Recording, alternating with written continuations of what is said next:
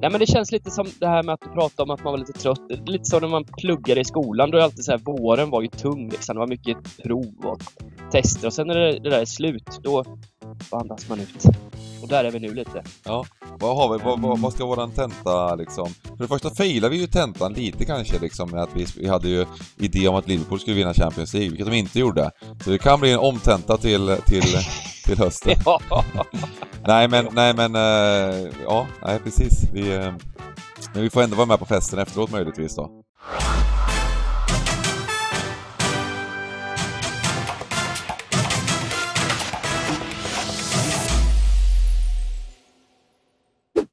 Stryktipspodden görs utav gamblingcabbing.se, Sveriges bästa spelstuga. Detta gör vi i samarbete med Stryktipset, ett spel från Svenska Spel, Sport och Casino. Där får du bara spela om du är över 18 år och känner du att du har lite problem med spel så gå in på stödlinjen.se och få hjälp där. Nu kör vi igång podden! Välkomna tillbaka till Stryktipspodden och eh, äntligen har vi med oss eh, The Fabulous 3. Mm. Det är Simon Lindell, det är Sargon Röja och det är jag, Bengt Sonnert. Och eh, ja, det, det, är lite så här dämpat nu efter... Eh, det, var, det var smält liksom hela våren. Det har varit viktiga matcher i eh, Champions League, det har varit viktiga matcher i Championship. Det har varit oerhört viktiga matcher i Premier League hela vägen in till eh, målsnöret. Och eh, man blev lite slut eh, efter allt det här kände jag. Eh, hur känner ni? Jo. Jo, definitivt. Uh, jag, jag har ju nämnt lite på de sista streamarna här att man, man uh, har blivit lite fotbollstrött. Mm. Uh, men jag tror att det är inget konstigt liksom för det. Vi, vi, vi är ju överallt i, i samtliga ligor och, och, och nu har det liksom nu kan man liksom lägga det åt sidan men Stryktipset lever ju vidare och eh, vi, eh, ja, lite Nation League nu i ett par veckor tror jag. Men just den där Eh. grejen också, alltså det tog mig typ, jag, jag, var, var, jag var helt eh, sådär, eh, eh, också, ja men som du sa, fotbollstrött. Och sen så på tisdagen, då började jag kolla på kupongerna liksom och, och schemat. Och sen tänkte jag, fasen vilket nice schema för, för Nations League. Eh, och, och roliga jämna matcher i Nations League är det ju. Jag tycker jag gillar det upplägget. Eh, att eh, de här, har den här gruppindelningen så att det inte blir, alltså i, när det är EM-kval, VM-kval och så vidare, då har man ju matcher på kupongen, då är det ju så här 1.13 liksom, och så ska man försöka motivera att kan de torska liksom? Nej, de vinner med 2-0 liksom. Eh, nu är det jämna matcher och det, Sverige har fyra matcher på två veckor. Sverige spelar fyra fotbollsmatcher på två veckor. Det, är inte det lite häftigt? Som ett mini-VM, det är det här vi får det här året. Ja, exakt. Nej men som, som du säger, för, för poolspelen så är ju Nations League mycket, mycket bättre att ha på kupongerna än eh, vanligt EM och VM-kval. Det blir ju, det är ju sammansatt så att det ska vara jämna matcher rakt av. Ja. Ehm, så det, nej, det, det passar Eh. jättefint. Ehm, men, men, nej, men det känns lite som det här med att du pratade om att man var lite trött. Lite som när man pluggade i skolan. Då är alltid så här, våren var ju tung liksom. Det var mycket prov och tester. Och sen när det, det där är slut, då andas man ut.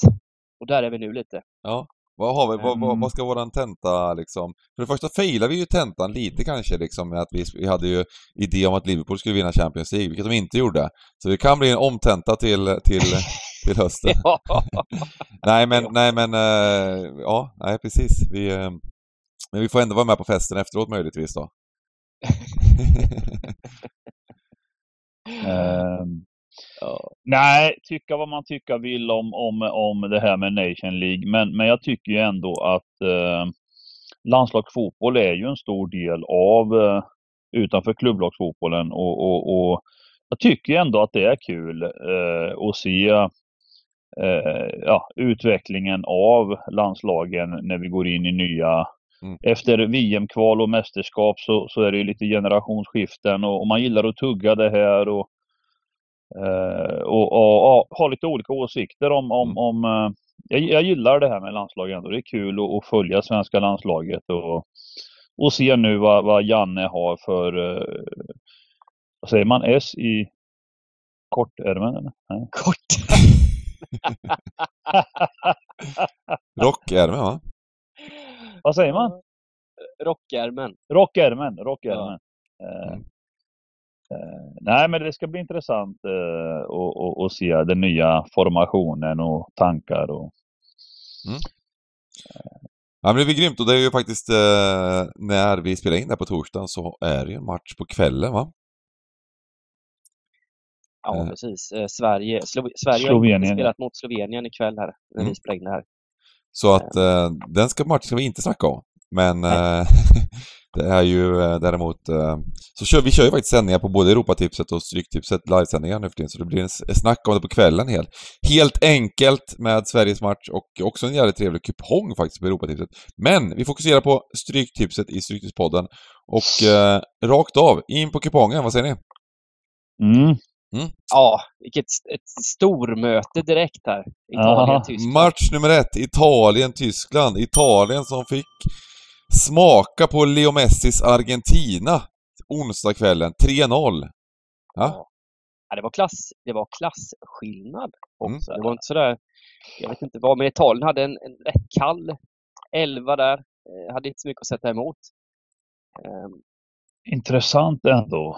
Eh, jag har fått lite frågor om eh, just eh, Argent eller vad man tror om VM och så. Och jag, jag har faktiskt plus i kanten på det, den här upplagan av Argentina. Mm. Alltså sättet de med den tränaren, hur de har förstått att man måste Eh, bryta ner och spela en annan typ av fotboll i ett mästerskap för att, för att ha chans mot de europeiska bästa lagen.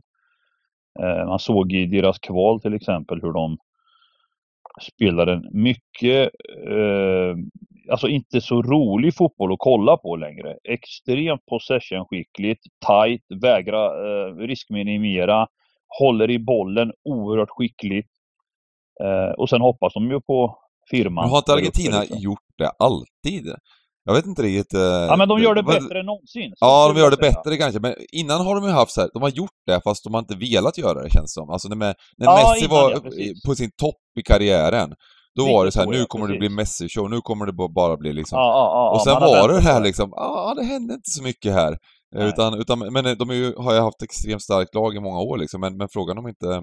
Ja, Argentina är grymma. Det blir kul att se dem i, i VM.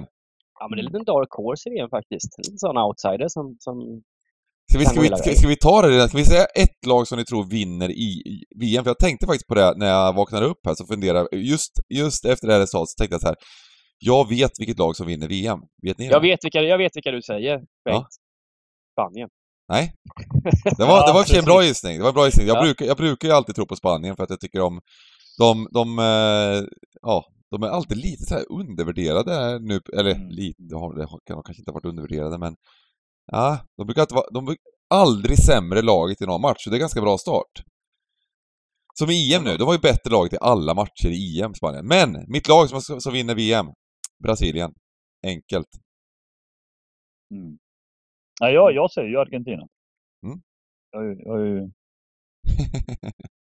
Nu har jag ingen aning om oddsen, Anta, antagligen så, så, spelar jag någon, är, är de favoriter här gissar på, så det var liksom... Vi kanske, är ganska, vi- iskallt, vi- ganska iskallt att tippa Brasilien alltså, tycker jag. Det är ju Ja, de är favoriter liksom. såklart också. Ja, men det är ju som att dra liksom, vad fan. Vem vinner, vem, vem liksom. Alltså det, det, Men är de inte bara bäst liksom? Nej, det vet jag inte i ett mästerskap. Alltså, de kan ju vara bäst Så vinner alltid brassarna, liksom, det- här klassiska, utanför Europa Har så, de- vinner, de- så vinner alltid, de- eh, ja tidigare i historien så vann alltid Brasilien eller Argentina. Det tänkte jag fråga, det här traditionella Confederation Cup, det är inget sånt i sommar då? Eller hur, hur är det någon som... Det var ju alltid liksom Confederation Cup sommaren innan VM. Kommer ni ihåg det? Ja, De- de året innan allt. var det ju. Det, jag, Ja, sommaren innan. Nej, ja, ja nu, nu är det bara ett par månader kvar, men, men eh, ja, jag vet faktiskt inte. Vi får, det gissar jag på att det inte är då. Fan, det är konstigt alltså. De samlade de här fem, sex, fem, eh, sex nationerna eller vad det var till. Vilket lag har du Dybban? Vilka vinner VM? Ehm, ja, men då säger jag Spanien då. Aha, du säger Ja, men jag, Spanien. vet, jag, vet, jag kan inte säga, ja, men jag vill inte säga Brasilien nu, för jag tror ju Brasilien antagligen är väl. Eh, favorit va? att vinna. De, de har ju gått så jädra bra i, i kvalet här och har ju en trupp som inte är från denna värld och så vidare. Så det, det kan väl bli, ska vi säga Spanien-Argentina i finalligan. Men jag menar, Eng Mm. Brasilien och England ungefär samma odds. Det måste man ändå säga att det liksom... Eh, då hade man ju hellre tagit brassarna? Va? Ja, hellre bra. Ja, absolut. Nej, men England har ju inte psyke för det här riktigt. Psyket talar emot... Eh, det är väl semi där mot Argentina, England. Då förlorar de ju. Ja, De är bra England ändå, det får man säga. De är... Ja, faktiskt. det, det, det är de absolut. Gott! Vi kör den här matchen då och... Eh, Ja, men den här matchen kan vi bara säga att Mm. Italien, Mancini har ju tagit ut en trupp som är alltså... Det är typ 80 gubbar den här truppen. Tagit han, kör, han kör en sån... Eh... Ja, men det är en helt otrolig trupp. Och, och elvan då mot, mot, ehm, mot Argentina i veckan här, den var ju inte super så här, top notch. Det var ju, det är ju Pessina startar, Raspadori, Belotti, Benadesco. Nu kommer dock eh, Ferratti in här och kommer väl starta, eh, vilket eh, så, är nyttigt. ja, för Italien. ja, ja, visst, visst. Så det kommer vara ett bättre Italien nu än vad det var mot Argentina. Det var ett Ja. komplett Italien i EM, måste man ändå säga. Det, det var, det, det, så att... Eh, men det kan, är det så då att, att eh, eftersom det är så många matcher nu, nu spelar man Argentina-matchen, och de spelar inte VM, är det här, är det Nations League som, som, som man vill vinna då liksom, eh, som, är, som är grejen? Att, att, eh, var, det känns ju sjukt att, att smygvaska den där, den där världsmatchen ändå liksom, men ja. Det, det här är en, en eh, EM-plats på spel, eller hur är det? Ja, det är ju det i potten, för det här är ju högsta eh, divisionen och det, det är där man får en rak biljett, va? Är det inte så? Mm. Vi, vi vet aldrig riktigt reglerna när det kommer Nej, till nej, Nations nej, nej, League. precis, precis. Ehm, Vi har, ju nej, faktiskt men, satt, vi har ju faktiskt satt våran vän eh, Adam Perroth på att reda ut det här på- med en artikel på våran, på våran hemsida, exakt hur det fungerar. Vi får se om han Ja, lyckas okej. med det här liksom, eller om det liksom, Mm. han snurrar till det. Eh, men, Men, men, men, eh, ja. däremot kan man ju se på Tyskland. Tyskland har ju bästa möjliga trupp här. Eh, de kör ju rakt av bästa lag, tror jag. Jo, men samtidigt, samtidigt, tyskarna är ju inte längre... Det, jag, min upplevelse är att tyskarna kommer, kommer alltid vara bra, men de är inte längre den här totalt dominanta, alltså de, de, den generationsväxlingen och så. Jag tycker, jag tycker att det saknas någon slags, eh, eh, jämfört med den eh, maskinen de eh, normalt eh, det började väl lite där eh, i tappet i VM va? Där när de chokade mot Sydkorea för fyra år sedan. Eh, Eller var det sex? Hur länge sedan var det Bengan? Nej det var 18 eller? Eh, det, ja, det var precis vad det var. Eh, Ja precis, det var 18 ja. Mm. Och sen därefter, eh, det, ju, det kommer ju alltid vara ett bra landslag men jag tycker inte, de, de har liksom hamnat lite under de här stora favoriterna. Eh, Om man, om man skulle, ja, du såg ju att ingen av oss diskuterade Tyskland här alldeles nyligen här när vi pratade om om vi skulle tippa ett, eh, vilka som vinner VM. Så är det. Vi tippar inte Eh. Italien heller dock. Nej, nej, nej, nej, absolut inte. Men, Eh, ja, men det är ju de här gamla. Det är ju Sané och Gnabry och Müller och Ja, Kimmich och precis. Goretzka och Ja, men precis, Werner är väl med, precis, Havertz, Gundogan. Det är de gubbarna liksom. Det kommer ju Eh. alltid vara ett bra lag som sagt. Det, Men man glömmer bort dem lite och det beror ju lite på också att ehm, de, eh, ja, de var inte dåliga i EM men de, de var li- lite sämre än England på Wembley va och, och åkte ut. eh, och det var det liksom.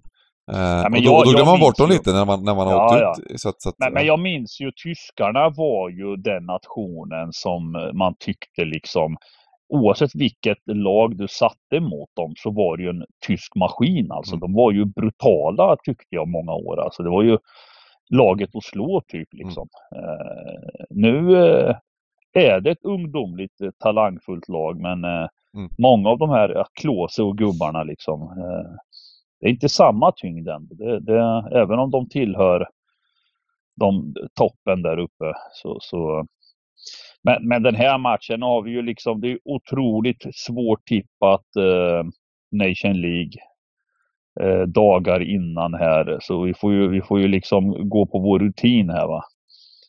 Eh, och jag, jag tror ju att Italien inte förlorar på hemmaplan. Eh, matchen spelas i Bologna. Ja. Eh, jag tror inte de förlorar eh, hemma. De är tillräckligt liksom... Alltså Italien för det första, de förlorar ju sällan matcher liksom. Eh, men, men, men idag är ju fotbollen så att det räcker inte att grinda som de gör. För då blir det straffar och då missar Jorginho. och, och, och, och, så, och, så, och så kvalificerar. Ja men det är ju så, de här lite sämre nationerna nu, de lever ju på att spela 0-0 hela vägen mm. till straffar. Eh, de vet ju om att det är det, vi ska stänga och vi ska riskminimera och, och de har blivit bättre på det. De, så att man måste ju växla upp om man liksom, och det tycker jag liksom Italien inte riktigt lyckades med i, i, i, i gruppspelet. Någonting som var väldigt, väldigt klart länge. Mm. Eh, blev inte klart och det var inte på grund av förluster utan det var på grund av att de inte klarade att vinna matcherna. Mm. Eh, så att krysset hänger ju även här då, men... Mm. Ja, jag, ja, jag är svårt alltså. Jag är nog lite mer inne på Tyskland faktiskt. Jag tycker, kollar man på den trupp Italien har här nu så det är liksom inte riktigt eh, det är inte världsklass liksom. Det är, och så är det Chiellini och Bonucci där på, i mittbacken och det, det, de har sett sina bästa dagar alltså. Det, det går inte så jävla snabbt när de ska hänga med i djupled där. Um, ehm, så jag, jag tycker det är jättesvårt. Jag, jag, um, och när det blir så så kikar man gärna på strecken och ser hur de landar. Och Det är svårt att säga nu men det finns en risk att Italien blir lite favoritstreckat här, jämna odds och så vidare. Så jag drar väl lite mer åt kryss 2 då, men jag kan tänka mig att köra... Alltså jag har ju stor respekt för giganten så... Men jag vill inte spika Italien i alla fall om jag säger så. Nej, nej det är jättesvårt alltså. Krysset ligger ju väldigt nära till hands alltså. Det, Börja med krysset och sen får ni bråka mm. om vilken, vilken streck vi tar. Ja, men mm. kör, kör Italien då. Giganten har... Nej, nah, krysset, eh, krysset tycker jag nog är det... Spikkryss? Ja, ja, det kanske ska... Tycker nog, det är inte så eh, dumt. Det, kan, det är inte så dumt. Ja, jag, jag, tror att den här matchen är extremt intressant också. Jag tror att det är som du sa det bara, att jag tror det är viktigt att kolla på, på startelvan, framförallt i Italien där. För de har ju, de, de lyckades ju under, som du sa, truppen kanske inte är den bästa som har varit på, men de lyckades under EM att ha en startelva som var eh, ex, som, gjorde en, en, extremt överprestation. Inte bara att de var, att de liksom, eh, eh den var bra, startelvan. För de, hade, de har de här spelarna som framförallt dominerar de i mittfältet oerhört med Verratti och Jorginho och, och och så vidare och, och eh, Kesa gjorde ett sånt super... Men alla, alla gjorde ett riktigt bra EM där i det här laget liksom. Ja, men jag tycker... Jag tycker... Kesa är ju skadad nu. Ja, ja precis. Ja. Jag tycker ja. ändå att det man ska ge Italien, det är att de har en liten annan typ av eh, fotbollskultur och det är mer det här kollektivet. Liksom, de elva gubbarna, det spelar inte så stor roll vilka elva som spelar utan utan eh, de, de går in med en enhet och så gör de sin grej med oerhörd disciplin liksom. Eh, det är inte alltid roligt att kolla på. Men, eh, men ja, det ledde till ett EM-guld. De floppade. Eh, eller floppade kanske är hårt att säga när han bara behövde sätta straffen. Eh, men, men det är ändå. De är svåra att eh, slå helt enkelt med sitt liksom. så att jag, jag, jag, jag tror inte att det kommer vara avgörande. Eh, vilka, att, att, att, självklart Verratti, ny, vissa nyckelspelare är viktiga att ha med. Mm. Jo men, men det är det jag menar, eh, att, det, att det, det är viktigare, inte, eh, ja att det är Ja, men jag, jag, jag drar väl lite, jag, jag har väl lite, lite, lite på Dybans i och med strecken här också. Mm. Att jag tror att Italien kommer bli, så, även, jag menar som eh, regerande Europamästare, hemmaplansfördel och tyskarna har ju mm. heller inte liksom sådär att snackats upp speciellt mycket så jag tror att värdet kommer att komma på Tyskland så jag är lite inne på att man kanske ska ta värdet av det här. Um, och så vidare och så vidare. Mm. Men uh, vi kan ju spikkryssa också och vara lite luriga. Ja, det är en liten kupong, det är en liten rad vi gör här så, så det, det, det kan ju vara vi testade spikkryss. Eh, däremot så är det, marknaden säger att det är ganska troligt att det blir mål i matchen och Italien har ju varit offensiva i sitt spel under eh, ändå. Eh, under EM och så vidare. Det, mycket, har varit mycket öppna matcher och så var det så att, eh, och tyskarna är tyskarna. Men eh, vi kör på krysset ändå. Första matchen i Nations League, kryss. Mm. Ingen vill outa sig. ja, men det är en viktig match, första matchen. Den, mm. Om någon vinner den matchen då är det ju direkt förarsätet och eh, Mm. krysset är väl båda hyfsat nöjda med, tror jag. Nummer 22, Ungern-England. Här är jävla intressant alltså. Här ser vi ju det intressanta med landslagsfotboll. De här, de här möttes ju eh, hösten 2021, alltså det är drygt ett halvår sedan. Mm. Eh, England hemma då. Och England stod i dryga 1,10. Mm. En, under 1,15 i alla fall. Och eh, spelade 1-1 mot Ungern. Ja. Eh, och det är också så här intressant liksom. Eh, ja, nu är det ju andra förutsättningar, men, men just att vi letar ju värde och vi letar ju möjligheten och skrällar. Och, eh, nu har Ungern gått upp alltså i, i Nation League A-gruppen och eh, ja, har de där att göra är ju frågan liksom. Det blir tre bra matcher för dem. Nej, men det är Eh, häftigt gjort. De vann alltså sin B-grupp eh, med Ryssland, Serbien, Turkiet. Mm. Eh, det, det, det, det är tufft. Det, det, och Ungern har ju sitt bästa landslag på, jag vet inte hur länge, eh, med eh, x antal stjärnor får man säga. Soboslaj är väl den största. Mm, mm, mm. Eh, var ju Salai och Ja, han är ju en sån favorit som bara köttar liksom. Mm, mm, Ja. I, i, Ja. i, i mästerskapet där och så vidare. Ja. Men, men nu är det ju för tidigt att tugga streck och så, men, men eh, England blir ju favoriter. Ganska kraftiga sådana också. Men eh, ja, jag, jag, jag går väl åt England här. Jag tror att eh, de bör vara bra nog och, och kunna öppna Nation League. Eh.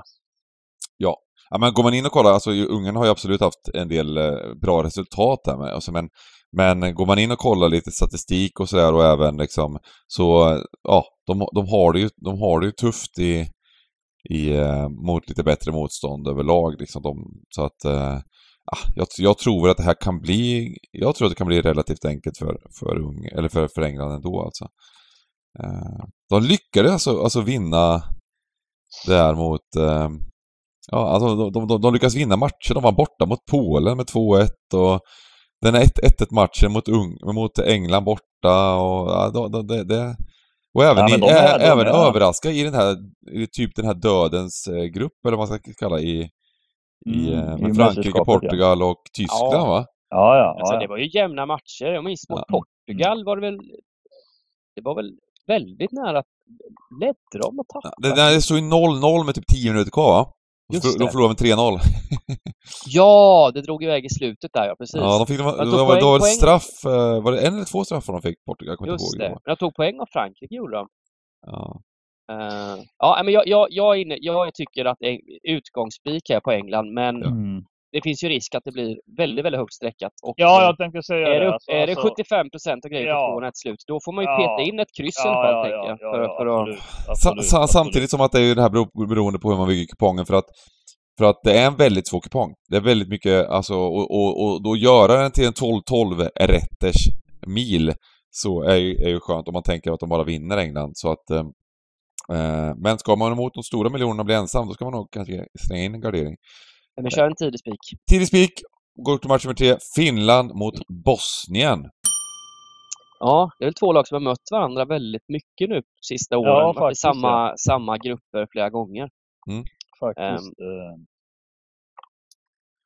Och det har varit eh, jämnt, kan man säga. Eh, Mm. Liten fördel Finland. Ja, det kanske det har varit. 2-1, två men på jag de fem senaste står det här, men det var 2004 fick vi med till sista matchen. Så att det, men 2019, fyra matcher, så är det 2-1, 1 då. Lite fördel. Mm. Och det, det, det har väl framförallt varit total kalabalik i, i Bosnien runt förbundet och det har varit mycket... Det, det, det har inte varit så bra stämning mm. i Bosniens landslag. Känns alltid sån där lite smygkaos liksom. Där. Ja, exakt.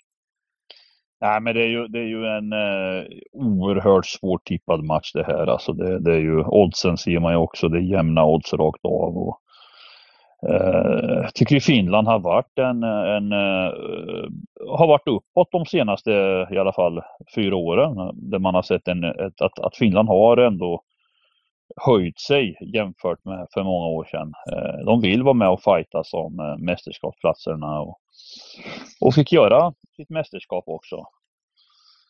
Eh, nej, jag tycker man kan egentligen sträcka på hur som helst. Det, det avgör ju lite hur, hur, hur strecken och så kommer sitta på den här matchen.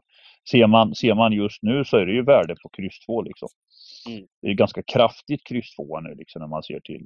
Ja, jag, Men ja. kommer- kommer- jämför, jämför, man, jämför man trupperna så är Bosniens kanske lite mer stjärn... Finland har Pukki såklart, men, men Mm. Bosnien ändå med. Tseko är med här.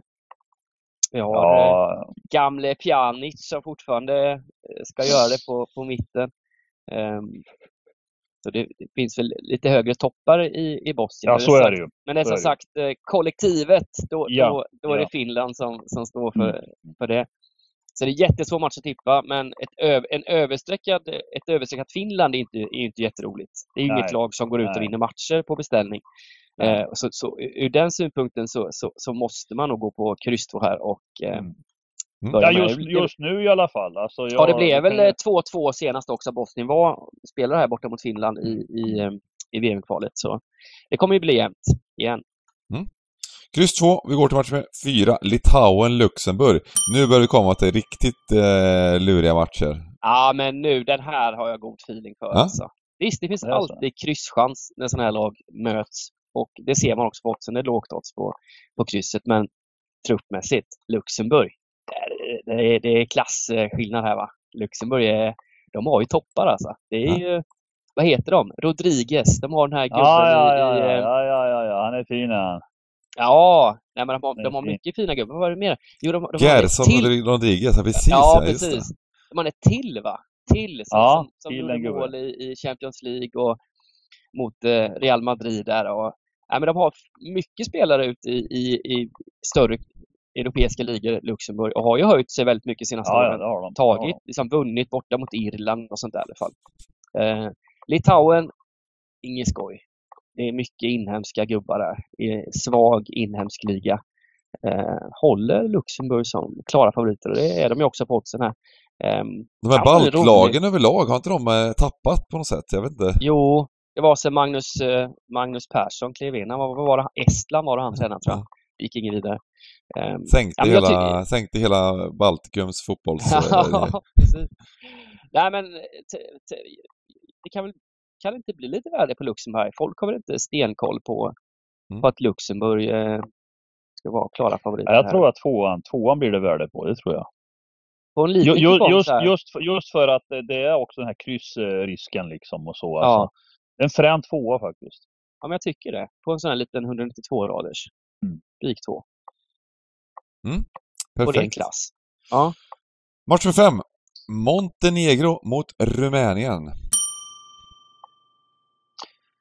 Alltså Rumänien var ju faktiskt en eh, trevlig bekantskap där. Eh, nu blandar man ihop alla de här grupperna, men de var ju med i Sveriges grupp. Eh, var det, det var, nej, det var, inte- var det den gruppen nu till VM eller? Eh, ja Det vi var det, ju- eller? Ja, det var det väl. Nej, men Ja. Rumänien har ju gjort det riktigt bra sista åren. De Ja, har ju de höjt sig också. Fått fram, fått fram lite nya gubbar som spelar lite större ligor i Europa och ehm, faktiskt de senaste, om man kollar på, kör man här, gubbstatistik, men de senaste sju matcherna har de bara torskat en och det var mot Tyskland borta. De förlorade med 2-1. Ehm, så det är ett gediget landslag nu för tiden, Rumänien. Efter att Ja, de det, men det var, det, det, var, det var inte till VM här i Sverige. Det var inte den gruppen. Det var, var det innan då eller? Det var till EM. Var det till EM? grupp. Ja, det var det ju. För hade ju Grekland Jag, jag såg den Mm. matchen faktiskt eh, på Friends, Sverige-Rumänien. Ja. Eh, och eh, då var Rumänien riktigt, då var jag imponerad. Det var väl Ja, då första gången som man, man det. liksom, man liksom... Det var det. eh, Det var 2-1 till det- Sverige till slut vart det, men ja, precis. eh, det var liksom eh, en, en trevlig match. Och Rumänien, först, framförallt första halvlek tror jag var liksom, eh, gjorde en jätte... Ja, så... så Ja, jag, var- jag var, och de, de, var, de var även bra där. De gjorde bra match borta mot Norge och de... Eh, och så vidare liksom. Det var... Det, så att Rumänien har ju Mm. uppat sig. Sen vann, sen vann Sverige rättvist bortaplan tror jag. Eh, Mm. det, det, då- jag för mig att jag trodde lite på Rumänien, jag tänkte det, nu kommer det bli tufft, men då, då passade matchbilden kanske lite bättre eh, liksom, för, för Sverige, fick kontra lite och sådär. Eh, men bollskickliga var de då minns Mm. jag. Ja, Dominerade men det var ju liksom. nära, det var ju nära att nypa andra platsen i, Mm. i VM-kvalet här, men det var ju Nordmakedonien som sen slog ut Italien som landade en pinne före i grupp J Mm. där. Mm. Ehm, Så var det. så var det. Ehm, ja, sen har vi... Samma sak vi, Montenegro här också. Liksom det är också en nation som eh, har eh, en del skickliga spelare men samtidigt räcker inte riktigt till. Är det Haksabanovic som ska, Ja, som ska hitta på ja. grejer där på Eh, Precis. Montenegro? Eh, Han och, är det Jovetic eller? Det här, eh, Ja, Ja, precis. Han har varit väldigt mycket skadad, Jovetic, den här säsongen. va? mm, mm. Han är väl inte helt... Ja, börjar bli gammal också. Så... Ja, ja, visst. Men är Ja, inte det här, är inte det här en klassisk kryss 2 då? Jo, det det här känns... För, det för att krysset känns ju nära till hands här också. ja, visst. Det är ju liksom en otroligt tight match och 0-0, 1-1 och så vidare. Men, Ja. Ja, kryss 2 känns jättebra. Mm. Eh, Mm. Där Rumänien ska vara favoriter. Och det, är, det roliga med Nations League det är att det, det är ju, de lägger upp det på ett kul sätt. Det är ju matcher varje dag precis. Så vi får, får gå, in, gå in i Nations League-grottan här ordentligt de här veckorna. Men faktiskt, kan vi inte hitta lite roliga odds också? Här kan vi, jag tror man kan tjäna lite pengar på Alltså det är ju Nations sjukt, eh, alltså problemet är problemet med det här, alltså det finns ju sjukt värde, men problemet är att och veta vad värdet är. För att det, Ja. Nej men just för att det är liksom inte de här lagen man ser varje vecka. Och spelarna, det är spelare från, från ligor som eh, man inte följer på samma sätt och så här. Och det, det, man, får, man får gnugga ordentligt för att komma in i det liksom. Men eh, ja, det ska vi kunna göra. Ja? In i labbet nu Dybban. Ja, Mm. in i lappen. Eh, match med sex, nu! Nu. Tillbaka till ettan. Fasen vad fin den är, svenska ettan va? Oskarshamn mot Ljungskile. Ja. Oskarshamn har inte fått någon, någon bra start på den här säsongen sagt. De var ju med i toppen i fjol och har varit ett lag som har nosat på, på superettan här nu flera säsonger men ta, gjorde ett par tunga tapp, hade ett par tunga tapp till den säsongen och eh, har ju fyllt på i och för sig med, med vettiga spelare men de har inte rikt- de har inte lyckats spela ihop laget än känns det som. Ehm, nej, men, men här, här måste vi ändå liksom... eh, jag tror att många kan sträcka Ljungskile här på att de är topplag i tabellen Mm. just nu. Men jag tror att man ska vara lite försiktig i den här matchen. Eh, vi, vi, vi, vi ser ju till exempel eh, i division 1 eh, att det inte är samma... Alltså man, man kan inte direkt haka på droppar hur som helst heller för att det, det, det räcker med lite, lite Mm. Omsättning på ena sidan så, så droppar det Nej, kraftigt. det, och, och, det var ju den rundan, veckorundan förra veckan när eh, det var 6 miljoner. Brutal ja, precis, runda. precis. Och, jag, hem- och det kom två otroliga droppar där på två bort- bortalag i ettan Ja, som jag gick ja. på. Som sabbade hela min, eh, ja, min ja, runda ja. faktiskt. Ja, men det vart ju så. De, de, förlor, alltså, de förlorar ju båda två också. Eh, ja, Så att man, man måste nog jobba lite med känsla och, och, och inte till fullo liksom. eh. Men, men här, här, Oskarshamn hemma, borta, det är, det är en väldigt, väldigt svår match för Ljungskile. ja precis.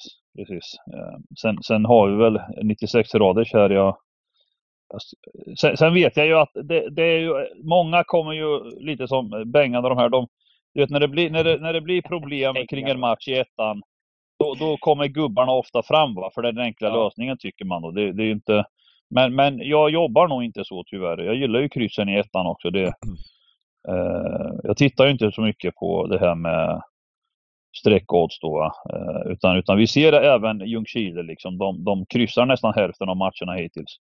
Mm. Eh, Ja, men anledningen till att, det blir, att gubbar kan vara lite mer populärt just jämfört med Nations League till exempel, då vill man inte missa kryss för det är ju, då är det ju liksom, det kan, ju- kan ju vara så att tre gånger pengarna på över två och ett halvt i, i liksom Nations League, medan det är liksom står i 1,50. Att det blir mycket mål helt enkelt i ettan. mm, mm. Eh, och det, då blir det ju lätt att man Eh, ah, fasen, ska man inte köra en gubbe liksom när man, när man, när man, när man eh, har, har, har lite smygångest inför matchen och tänker vad fasen, hur, hur ska det här sluta liksom? Ja, Mm. ja, men Eh. det, här- här måste jag också säga att det är jäkligt intressant odds här på Oskarshamn. 2,46. Mm. Tittar man lite runt på nätet va, så då står den här ettan i dryga två gånger pengarna. Så det är väldigt högt odds på Oskarshamn just här på Svenska Spel. Mm. Eh, Så Oskarshamn ska nog vara större favoriter på oddsen här än vad, än vad vi ser just nu när vi spelar in.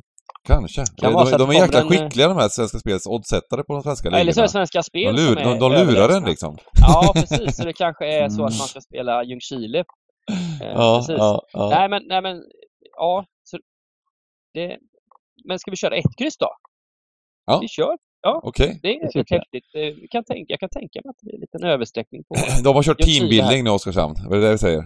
Ja, Mm. nej, men de, Oskarshamn är ju också ett mycket bättre lag vad tabellen säger. Ser man på truppen så finns det mycket superettan-kvalitet och, och i det här laget. Och, Mm. Jag, kan, jag, kan, jag ser lite, lite orolig för statistiken här. Det, det ser väldigt bra ut i statistiken för Ljungskile och kanske lite mindre bara för Oskarshamn, men det, ja. Eh, men sen är det ju också Ja. de här lägre divisionerna liksom. Det, det, det, det är verkligen så. Det, det, kan, det kan bara vända på, ett- på ett, på ett eh, korvöre liksom. Eh, att, att ett lag bara spelar bra, får in någon, får in någon bra spelare. Det, det är liksom... Eh, eh, ja, statistiken är inte... Det känns som att man kan bli lurad utav den en hel del. Ja, ja. Här är det ju direkt så här om, om, du, om, de, om, om i ettan där folk, de brukar ju låna in spelare från högre divisioner Ja. eh, i, i, i, i pausen här, uppehållet och då, då en sån klassgubbe, det Mm. gör ju otroligt mycket på den här, Mm. på den här nivån.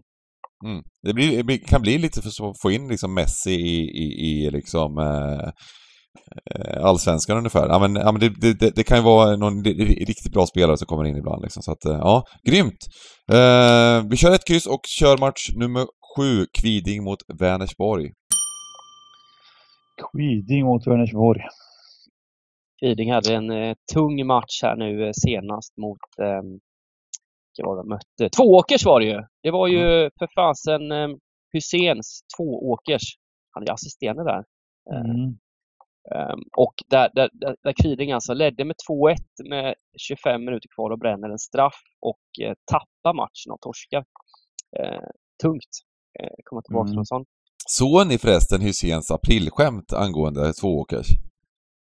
Ja, jag minns Han, skri, han skrev ju något sånt där, du vet, ni vet sådana här inlägg eh, om, var det på Instagram eller på, på något sånt där, att, eh, att liksom eh, det hade varit, blivit en konflikt och jag kommer inte ihåg exakt vad det var, men, men ett seriöst inlägg om att liksom, han, han skulle inte vara kvar i Tvååkers för att det var liksom, och kritiserade liksom ledningen och, och det, det var ju, alla trodde ju på det såklart. Jag, jag, jag, vågat, jag tänkte alltså. inte heller på shit, vad, liksom, för det hände ju sådana grejer och det, det är ju ganska så här allvarligt aprilskämt. Jaha, han, Det var liksom... han, han, han når ju liksom ut också. Jag vet inte hur många följare han har, men han har väl mer följare än alla Alltså två, Ja, man säger Tvååkers egen Twitter har väl kanske en procent av vad ja, ja. Hysén har för Ja, ja, följare. visst liksom. Jag kan tänka mig att en del, en del fortfarande tror på det där. De såg bara det första inlägget och tänkte nej, det, det, det, det är typ att det blir kaos liksom. Och men, men, men så tog det ju någon timme eller två liksom. Nej, men det här var ju ett aprilskämt. Det förstår ni väl liksom. Så, nej, jag förstod inte det. Eh, han, gick, han, gick, eh, han gick extra steget där i aprilskämtet. Uh, och Jag hade kvar. Han är kvar. Ja, han är kvar. Eh, vad tror ni om matchen? Jag tror lite på Jätte- Kviding här. Jag tycker de, är, de ska vara lite bättre också än vad tabellen säger. Vänersborg är inte dåliga, men trivs absolut bäst eh, på hemmaplan, hemma på en fin och ren gräsmatta. Här, här vankas det Va- Vallhalla, IP, konstgräs och Vänersborg har faktiskt inte vunnit någonting borta än så länge och eh, torskar senast mot eh, bottenlaget Lindome. Så Mm. eh, jag, jag är lite, jag tror det kan, jag tror inte ettan här kommer sticka iväg heller just på grund av tabelläge och sådär. Så jag gillar ettan. tror vi kan spika den va? Men jag tycker Mm. Jag gillar med den faktiskt. Kul och eh, vi går till match med åtta. Åtvidabergs FF mot Falkenbergs fotbollsförening. Falkenberg har vaknat till liv lite igen. här. Det var ju, eh, man trodde ju nästan efter ett gång att det här blir hissen raka vägen ner i en division till, höll jag på att säga. Men, Ja, men, men de har höjt sig nu. Eh, 0 mot Gais senast och det har sett mycket bättre ut sista omgångarna i alla fall men eh, det här är en sån här match som eh, man inte blir klok utav. Eh, man ser det här stora favoritskapet på Falkenberg. Och ser man värdet och allt. Och det är en sån här, det här är en sån här som i division 1, den, den här är för bra man, man fastnar lätt på att spika de här. Eh, och, och, och jag kan liksom inte begripa varför det ska vara 1,70 nu på, eh, på bortaplan. Eh, jag fattar att Åtvid har, eh, har det tufft i division 1 och, och, och knackar men i fan om de Falkenberg bara ska komma till Kopparvallen och, och Jag tror du måste åka de där 3-4 milen till Åtvidaberg ut och snacka med dem lite vad som händer i klubben eh, där, Mm. eh, inför Ja, lördagen. Och, eh, det, det är klart att det är svårt för de här lagen på, på, som, som har svårt att få tag på sponsorer och så vidare. De är ju begränsade. Men, men Mm. Eh, jag tycker spelmässigt har de ändå gjort eh, jämna resultat i de flesta matcherna de har spelat i år. Mm. Eh, eh, väldigt eh, jämna och udda. Ja, jag, jag, jag vet inte. Nu, nu är det ju liksom 40 procent och, och 1,70 liksom. Det, Ja, men de, har ju, de har ju det- faktiskt haft väldigt tufft spelschema åter på slutet. De har ju mött både, lite här, de mötte, har mött Oddevold och Ljungskile på hemmaplan senaste Ja, eh, du ser det, det Torskat med mål. 0-1 båda matcherna. Mm, så det har ju precis. absolut, de har ju resultatmässigt hängt, hängt med. Eh, Så är det ju. Och eh, Och Ja, just nu är ja. Oddevold och eh, Ljungskile bättre lag än vad Falkenberg har varit hittills. Så. Mm. Men sen är det också som du säger att de har trampat igång här nu och de ska väl vara, de ska väl, de, har, de ska väl vara tippade ändå, eller Ja, Falkenberg? de har ju en trupp för att slåss i toppen här, absolut. Mm, jag menar det. Det har de ju. De har fyra raka nu utan förlust, men, men de har ändå lite svårt att vinna matcher nu. Hemma mot Olympic där. Ja. Eh, nu är det Olympic topplag här ser jag. det, det verkar vara ett jäkla lag där Olympic liksom. Eh, Det häftiga. Nej, men det, det kan, risken den här matchen är att det kanske blivit en wise guy spik här på Falkenberg. Mm, men det mm. kanske man får köpa på en sån här liten kupong. Mm. Annars kan det ju vara kanske, ja, om det blir lite tajt. Jo, men det tror Men- jag nog. Det är på, på en liten kupong måste man nog vi, vi har ju åtta rader här på, på, på, på men vi har ju, då har vi råd att gardera lite på slutet kan man säga så? Och vi spikar den här. Ja, Mm. ja. Eh, match nummer nio då. Hammarbys talang för fotbollsförening mot IF Karlstad. Det var ett långt namn där. Mm. Eh, Ja. Återupprepar här. De spelar här på 100 meter från mig. Ja, det gör de. kan man gå ner och kolla om man vill. Ja, Eh, men de har, de har överraskat ändå lite nu. Precis. Eh, sista... Men sen är de ju kanske inte... Det här Karlstad eh, ska ju vara ett topplag i, i, i division 1. Eh, och de har ju börjat trampa igång nu med, med tre raka. Eh, även om det är uddamål i samtliga. Och, och eh, jag ser ju streck och säger vad fan, jag vet inte riktigt. Ju- man blir ju helt snurrig eh, som det ser ut nu liksom. Mm. Eh, Men det är klart att utgångsstrecket är tvåan. eh, Trots att Hammarby har eh, spelat upp sig här så, så ja, jag, jag tror att Karlstad är Det var, de, Nej, de toppen. mötte ju de här Inter de, de, de förlorade skotten med 22-5 och vann med 1-0. Eh, så att... Eh, Ja, Hammar- Hammarby menar du? Ja, de hade, de hade nog lite, lite, lite medflyt i den matchen möjligtvis. Eh, eh, och eh, sådär. Eh, så att, ja. De hade lite oflyt matchen innan där mot Haninge. De ledde väl med 2-1 till 96 eller någonting. Ja, ja. in eh, Just det. någon boll där, så det kanske jämnar ut sig. Men ja. Karlstad absolut bästa laget här på pappret. Eh, Mm. Frågan är, jag minns jag spikade faktiskt Hammarby på någon. Jag minns den här Haninge-matchen för att jag hade spik på Hammarby på någon, Oh. någon kupong där som sabbade hela, hela rundan. Ehm, och hemmaplan här Hammarby, kan det inte vara lite spännande att få med dem på något sätt här ändå? Jag minns att de, eh, jag för mig de gick ner i odds då när de mötte Haninge. Blev nästan favoriter till slut där. Här, är här, här känner jag att det, det, nu, nu är vi inne på de här gubbarna liksom. Det, det, det blir mycket chanser. Mycket, mycket mål i matchen. Eh, men eh, det kanske, det kanske är lite väl och... Vi har ju faktiskt inte en enda gubbe än så länge. Nej, vi har inte en enda gubbe liksom, men ja, och det, och det även, även liksom Karlstad här, det är mycket mål i deras matcher också så, så att... eh, ja. Ja, men gubbe, alltså liksom, Hammarby kan aldrig vinna matchen liksom. Ja, du kan ju inte ha en gubbe på en match som inte genast Nej, kan de inte vinna, det tar vi inte med den. 3% tar vi inte med då. Nej, men det är väl så att alltså, oddsmässigt Karlstad är väl liksom klart rättmätiga favoriter och det, det, det, vi, kan, vi kan köra ni vill.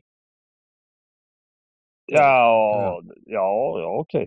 Jag tänkte att det är en klar spik, men Men vi har råd här. Vilka, vilka, vilka, vi, ska vi bara lämna in en 16 rader så vi, det, det blir lite väl tycker jag. Ja, men jag tänker att Falkenberg-Karlstad, Ja. det är två, det är sådana två matcher där folk... Det, de kommer ju spikas mycket den kombon, Falkenberg-Karlstad. Kan fint för med någon gardering i någon av de två matcherna i alla fall. mm, Eh, vi, det, ja, det kommer ju vara så viktigt hur strecken sätter sig här känns det som hur som helst liksom. Sen så... ehm, ja, sen så ska man inte bara, bara gå på odds och streck eh, rakt ut såklart som vi alltid säger men men eh, ja, jag tycker det är lite lurigt när, man, när, när strecken sitter som de sitter nu liksom. Man, man, man kliar ju såklart bara och drar mot supervärdet på tvåan här. Mm. Men, det, men det ska man väl göra också med tanke på att det är stor skillnad på lagen. Verkar det vara. Eh, match nummer 10. Motala AIF mot Täby. MIF. Ja, Motala fortsätter att bli högt sträckade på hemmaplan här. Det är Mm. där de har tagit sina, alla sina vinster. Va? mm, Och eh, mm. är starka. Nej, men sen, sen är det ju, sen är det ju, de möter ju ett lag här som... Eh, eh, vart fan placerar man detta team TGFF liksom? Totalt, totalt manglade i Mm. division 1 alltså. Eh, vad innebär det liksom? Hur kan man vara så jävla dåligt förberedda för en division 1-serie liksom? Hur hur blir man slaktad så som de blir? Eh, Tog de, bröt de sin trend nyligen här nu? Borta mot, ja, de visar där, Umeå. Titta, titta, de tog sin första poäng här. I 90 minuten. eh, borta mot Umeå. inte det en stark merit eller? Att lyckas trolla mot Umeå. Mm. Eller? Ja, eh, men- men ja, de, de, har, de har jaga- en del röda pluppar annars så att jag vet inte riktigt vad Ja, vi... men, ja, men här, här ska vi jaga, alltså här kommer ju Ja. kioskgubbar och allt möjligt liksom. Alla kommer ju spika det är ja, exakt vad en ren spik. Och det här är ju det är en sån favorit man vill ha bort liksom. Alltså, Ja, rakt ja. ut. Och, och de Men- visar ju där att de kan eh, streta emot eh, Mm. mot, mot ett liknande lag. Eh, jag tycker vi gamblar. Här måste vi ha med alla streck. Har vi inte en helgardering? Jo. Täby, de började ju kul Täby. De började med tre, vinna tre av sina fyra första matcher och sen har det gått lite, lite troll i det. Men jag tycker de har stått upp helt okej mot sådana här. Vasen har ju mött Ja, och ja, ja det. okej, förlåt. Jag kollar helt fel nu. Ni säger ingenting. Nej, jag tänkte också... Jag, säger, jag kollar ju helt fel för fan. Jag kollar Ja. ju helt fel. Ja, Men Täby är ändå, de är ändå, har ju ändå lite boll här, här måste man smacka på alla streck. Jag, Ja, jag, ja. jag, jag tittade helt fel här. Team TGF tittar jag på som är jumbo liksom. Jaha. Ja, Motala är ju du, koll, du gjorde ju här rätt. Du, du, du kollade ju rätt fast du... Eller vadå? Nej, jag kollar inte rätt. Du kollade Jag- fel i jag tabellen men du kollade ju rätt på resultaten. Nej. Att de, jag de, de kryssar borta mot Umeå här. Ja, jo, det gjorde de ju. Täby. Ja, det gjorde de ja. Det gjorde de ja. Helt, giganten helt förvirrad där. Ja. Och sen fyra förluster i övrigt de senaste fem liksom. Så att, och släppte in en Ja, hel vad del sjukt. mål. Och, Det var sjukt. Team, team spelade oavgjort mot Umeå med. Det var deras poäng. Jaha! Ja, det var ju deras pinne de tog här senast nu liksom. Jaha, okej, okej. Ja, Så det- bägge lagen har, har det resultaten? Ja, ja. ja. Ja, ja. ja men då, då, Nej. då, då hänger jag Alltså, med jag på... kollade, där kollade jag rätt i alla fall. Och, och bägge lagen var borta mot Umeå liksom. Det, det, det är liksom, Umeå har lite svårt där. Mm. Nej, men, nej, men här, här är inget att snacka om då. Här, här, här måste vi ju liksom sträcka på va. Ett Ja. MIF i division 1. eh, Ja, men det, här blir väl, varit- eh, det här blir väl kupongens helgardering va? Ja, absolut. Mm. absolut. Um, match nummer 11, Sandviken-Gävle. Det här Ja, kallar eh, jag för eh, derby Mm. Della Pelle Olsson. Ja, just det. Ja, precis, precis. Han är inte kvar i någon av dem va? Nej, han är i Halmstad nu och kör någon Ja. eh, scoutroll. Eh, Ja, ja. Nej, men jag faktiskt, jag kan säga så här, Gävle har ju tappat lite nu eh, från den starten de hade. Men, eh, och, och, och alltså, Sandviken, jag såg ju den matchen. Det, det är ju, finns ju en del topplag i division 1 här och eh, jag såg ju den matchen Sylvia Sandviken då. 1-1 fulltid. Eh, Sandviken är där för att stanna. Eh, de, de, det, det, verkar vara en satsning där och det fanns en, en tyngd i laget, eh, speciellt på omställningar, alltså organiserade i defense, ligger rätt och, och jag vart ändå imponerad eh, över, över nivån på Sandviken i den matchen mot Sylvia.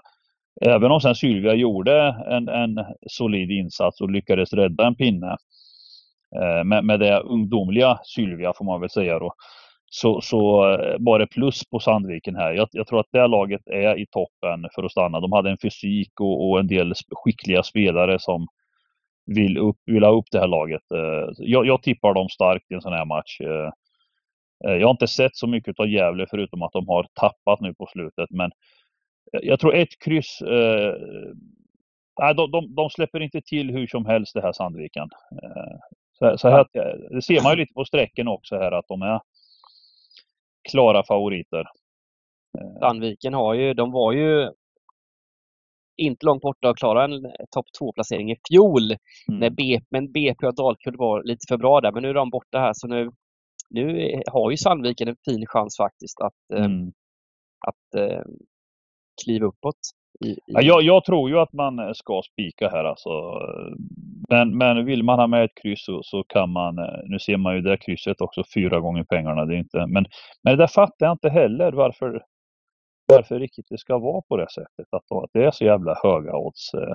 För, för matcherna är inte så spårade som, som de är jävligt oljade och, och matchen mot Sylvia till exempel, det var extremt, det var en toppmatch, det var verkligen två bra lag. Ja. Eh. Han har ju också seriens skyttekung eh, Mohammed Naim i Sandviken. Han har gjort 10 mål på 10 mm. matcher den här säsongen. I fjol gjorde han 17 mål. Så, aj, kul, ja, jag, tror, jag, tror att, jag tror att det är spik här. Alltså. Det, det, mm. det lilla ja. jag sett så... så ja, jag, jag, jag tycker vi ska spika eh, Sandviken. Här. Två bra lag, men Sandviken är bättre, helt enkelt. Det är så du mm. säger? Ja, jag vet inte om Gävle är alltså de börjar ju dala nu lite. Tappat lite nu på slutet och, och, kanske sprang lite för bra tror jag. Jag vet inte om de ska vara där uppe i toppen alltså. Mm. Eh, tre matcher utan seger här nu och... Ja, precis. Nej, precis. nej jag tippar Sandviken starkt här alltså. Ja. Eh, match nummer 12. Vasalund mot FC Stockholm Internationale. Ja, det är bara att smacka på alla streck. Men nu har vi ju inte det. Är det eran gubb? Åh oh, jävlar, kolla den då! Jag tänker att det här kan vara våran kryss 2. Vi behöver ta bort en favorit. Och eh, ja. Vasalund kommer bli extremt överstreckade. Men eh, det är väl två, ska väl vara två rätt, relativt jämna lag det här? Eller? Det kanske är så att eh, man ska köra hel på den här och ta bort Motala. Det, så kan det vara också. Ja, det, det, de är liknande mm. så ja, precis. Ja. Vasalund är ett väldigt mycket bättre lag än Motala om man säger så. Mm. Mm. Uh, ja, det är lite efter, efter smak och tycke där, men det är bra att ta bort någon favorit som är lite överstreckad och det, det, det, det känns som att, att eh, Motala blir perfekt att ta bort och så helgarderar vi den här Vasalundsmatchen. Mm. Uh, Vasalund är uppe i toppen där, uh, men uh, lite smickrande position kanske möjligtvis ändå, eller? Ja, men truppen går inte av för hack i Vasalund. Alltså det, ja, Vasalund är ju, och Vasalund är ju, vad säger man, farmarlag till AIK. Mm. Eh, och eh, de, de, ja, de, de, kommer ju alltid vara på ett eller annat sätt i, på den övre halvan i division 1 liksom. Eh, men, men det här Stockholm Internationale, det är något spännande på gång där. Eh, något jävla lag. Jag vet inte hur många länge de har funnits eller om de ärvde, ärvde något namn eller vad fan de har gjort. Mm. Nej, de har också en häftig... Alltså, de här Stockholmslagen i division 1, det är, de får ju in... De har ju lite ja, lättare att ja. få in klasspelare ja, för det är så jävla mycket spelare där i Stockholm. Ja, ja, ja, verkligen, verkligen. Så är det ju. Uh, så att, uh, nej men det är rätt. Vi helar den. Det tycker jag är helt rätt alltså. Mm. och så avslutar vi med då det här spanska returmötet, eh, kval eh, och... Eh, det är alltså playoff-semifinal här. Mm. Andra mötet då. Ja, precis. Och Tener Teneriffa Mellan Las Palmas och uh, Teneriffa match med 13. Mm. Ett jävla Kanarie, Kanariederby va? Eller öderby, vad fan så kallar man det? det är ja, derby, precis. Va? Derby de la Canarias. Ja, Precis. Ingen aning om det heter det, men, men jag eh, uppfann den i men, men här, här, har vi, här har vi ett lås va. Eh, vi måste låsa ett kryss här. Eh, eh, Tenerife vinner ju första matchen med 1-0. Eh, och jag, vet hur den här spanska kulturen funkar nu liksom. Eh, nu, nu åker Teneriffa eh, till Las Palmas här och stänger den här matchen. Las Palmas klar favorit hemma. Tenerife, vi, vi åker inte ens dit för att vinna. Vi åker inte ens dit för att göra mål liksom, utan de åker dit för att bara stänga helt. Det finns inte ens kontringar och sådana grejer. Är du med? Mm. Eh, De, de lyckas ju vinna med 1-0 till Nifa hemma, men det, det är två stycken väldigt hemmabetonade lag och eh, totalt sett är väl Las Palmas snäppet bättre mm. Mm. eh, av de här två lagen. Så ett kryss känns ju väldigt solitt. Får man jobba krysset eh, faktiskt, eh, vilket är stor chans liksom. Ska vi summera lite? Lite spikar och drag?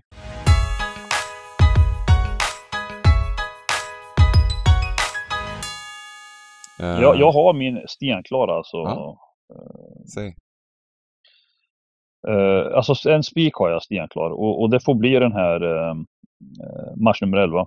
Jag, jag gillar Sandviken utav det jag sett och eh, eh, spik Sandviken hemma mot Gävle.